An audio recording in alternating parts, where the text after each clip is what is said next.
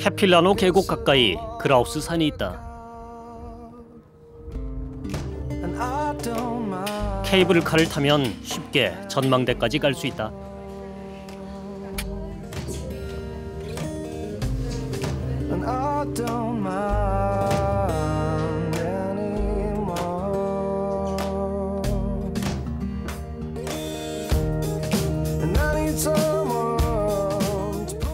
전망대에 서면 밴쿠버가 한눈에 들어온다. 바다와 어우러진 해질녘 밴쿠버의 모습은 정말 아름답다.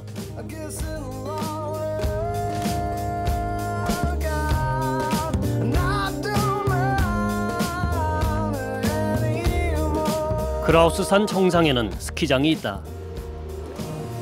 그곳에서 야간 스키와 스노보드를 즐길 수 있는데 슬로프를 타고 내려가는 사람들이 꼭 밴쿠버의 야경 속으로 빨려 들어가는 것 같다.